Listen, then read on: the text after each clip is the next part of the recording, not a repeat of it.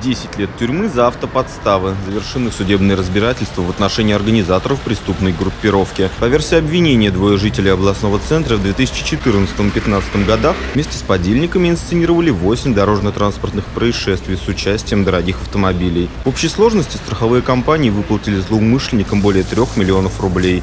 Также для осуществления махинаций преступники дали взятку должностному лицу за составление официальных документов при регистрации ДТП. Судом доказано, что во время следствия мошенники запугивали ключевых свидетелей. Приговором суда лидером организованной группы Алексею Варнашову Сергею Олейникову назначено наказание в виде 9 лет 6 месяцев лишения свободы с отбыванием наказания в исправительной колонии общего режима со штрафом в размере 900 тысяч рублей каждому. Участникам организованной группы назначено наказание в виде лишения свободы на срок от 3 до 7 лет.